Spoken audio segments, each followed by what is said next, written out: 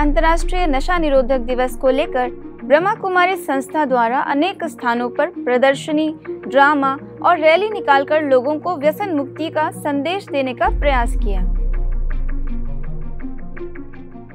संस्था के सदस्यों ने लोगों को नशे के दुष्प्रभावों की विस्तार से जानकारी देते हुए उनसे नशा न करने का संकल्प कराया।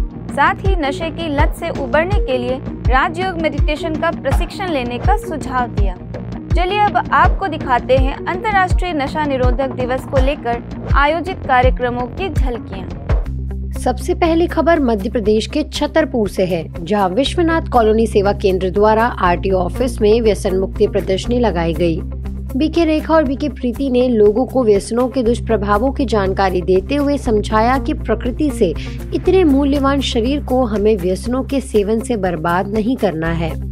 इसके अलावा सेवा केंद्र प्रभारी बीके रमा बहन ने सभी को व्यसन मुक्त रहने की प्रतिज्ञा कराई। साथ ही राजयोग मेडिटेशन का प्रशिक्षण लेने के लिए सेवा केंद्र पर आने का निमंत्रण भी दिया। इस प्रदर्शनी कार्यक्रम का अवलोकन पूर्व बीएसएनएल अधिकारी बाबू पटेरिया, राज्य परिवहन पूर्व डिपो मैनेजर वीरेंद्र सेंगर ने भी किया। अब खबर है रांची के हरमू रोड सेवा केंद्र से, जहाँ नशा मुक्त भारत अभियान के तहत आयोजित कार्यक्रम में डीसी ऑफ़िस के प्रशासनिक अधिकारी शिवानंद प्रसाद पूर्व विधायक प्रत्याशी धनंजय पुतुष एडवोकेट वर्षा श्रीवास्तव, सेवा केंद्र प्रभारी बी के निर्मला दीदी उपस्थित रहे। अतिथियों ने व्यसन की लत से व्यक्ति, परिवार और समाज पर पड़ने वाले दुष्प्रभावों की ओर सभी का ध्यान खिंचवाया। तो वही निर्मला दीदी ने राजयोग मेडिटेशन द्वारा व्यसन से मिलने वाली मुक्ति की बात कही। अब खबर देश की राजधानी दिल्ली से।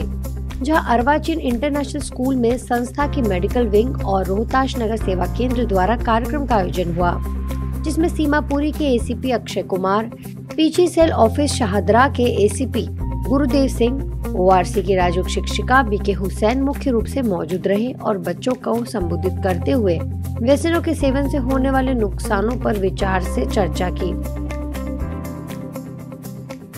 ऐसा ही एक जागरूकता कार्यक्रम Shaheed Rajguru college of applied science Vasundhara Ghaziabad में भी आयोजित हुआ, जिसमें एसपी यशवंत सिवल, अतुल कालिया और बी के हुसैन मुख्य अतिथि रहे। अब खबर है राजस्थान के टोंक की जहाँ घंटाघर सर्किल में बी के सदस्यों ने लोगों को व्यसन मुक्ति के लिए प्रेरित किया। कार्यक्रम का शुभारंभ आयुर्वेद विभाग टोंक के उप निदेशक प्यारेलाल मीणा ने बी के अर्पणा बहन की मौजूदगी में किया। इस दौरान बी के सदस्यों ने राहगीरों में राज्य प्रदर्शनी और पैम्पलेट के ज़रिए लोगों में व्यसन मुक्ति का संदेश दिया।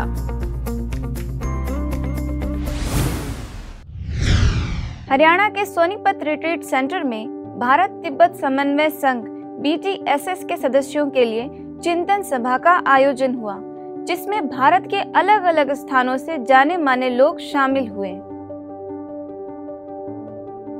दो दिवसीय इस चिंतन सभा में बीजेपी के प्रदेश अध्यक्ष ओम प्रकाश धनखड़, पूर्व कैबिनेट मिनिस्टर कविता जैन, दून विश्वविद्यालय के पूर्व कुलपति प्रोफेसर प्रयाग दत्त जुयाल, देश के रक्षा मंत्री राजनाथ सिंह के सुपुत्र नीरज सिंह मुख्य अतिथि के तौर पर शामिल हुए। यहाँ पर आकर मुझे लगा कि जिस तरह से ईश्वरीय विश्वविद्यालय पूरे संसार में शांति की बात करता है हमें सिखाता है। उसी तरह से ये भारत तिब्बत समन्वय संघ भी कहीं ना कहीं शांति की स्थापना को लेकर, अपने अधिकारों को लेकर, भारत और तिब्बत किस तरह से आगे बढ़े, ये भी उस पर विचार करें। मैं प्रधानमंत्री ब्रह्म कुमारी का बहुत बहुत अभिवादन करता हूँ और मैं इनका सम्मान भी करता हूँ, स्वागत करता हूँ और धन्यवाद। करता हूँ जिन्होंने अपना परिसर दिया। मैं चार दिन माउंट में रहा और कुछ सीखने को मिला।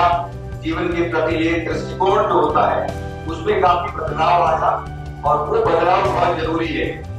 रिट्रीट सेंटर के निदेशिका बीके लक्ष्मी दीदी ने बीटीएसएस के सदस्यों को तनाव मुक्त रहने के लिए राजयोग मेडिटेशन के साप्ताहिक कोर्स की संक्षिप्त में जानकारी दी और मेडिटेशन करने के लिए प्रशिक्षण भी दिया।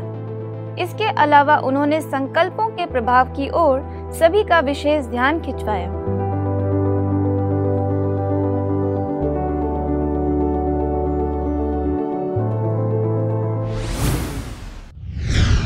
मध्य प्रदेश के अलीराजपुर में पुलिस कर्मियों को तनाव मुक्त जीवन जीने की कला सिखाने के लिए ब्रह्मा कुमारी द्वारा पुलिस कंट्रोल रूम में कार्यशाला का आयोजन हुआ। जिसका शुभारंभ रिज़र्व आरक्षक ब्रिजलाल जी ने किया और उन्होंने समय समय पर राजयोग मेडिटेशन का प्रशिक्षण देने के लिए ब्रह्मा कुमारी को आमंत्रित किया।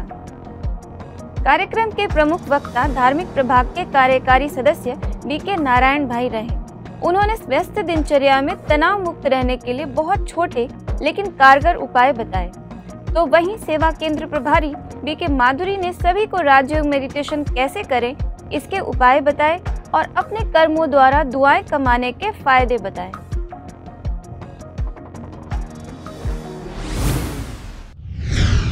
मध्य प्रदेश के छतरपुर में जिला होमगार्ड एस द्वारा आयोजित आपदा प्रशिक्षण कार्यक्रम में ट्रेनीज को मेडिटेशन सिखाने के लिए ब्रह्मा कुमारी बहनों को आमंत्रित किया गया।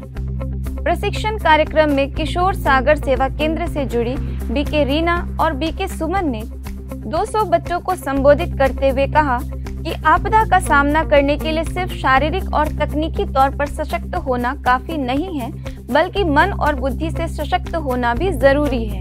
हमने स्वयं को मन से कितना तैयार किया हुआ है कि किसी भी प्रकार की आपदा आएगी तो हम उसका सामना अच्छे से कर लेंगे। कितना तैयार किया हुआ है?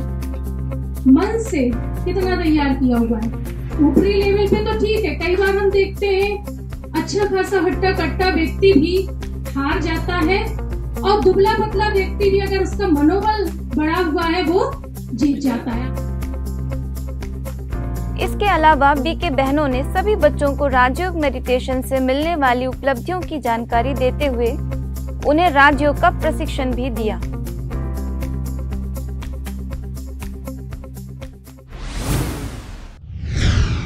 आज फ़िलहाल इतना ही। अब लेती हूँ आपसे इजाज़त। नमस्कार ओम शांति।